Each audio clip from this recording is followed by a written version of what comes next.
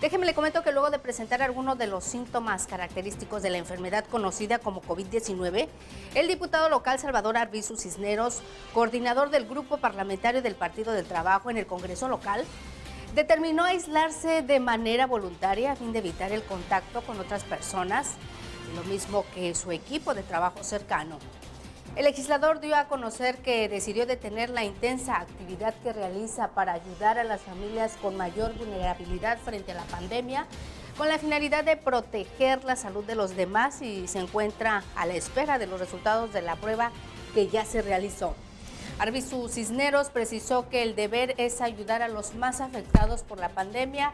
pero también se tiene la obligación de proteger la salud de los demás. Por eso es que se mantiene separado de sus actividades ordinarias.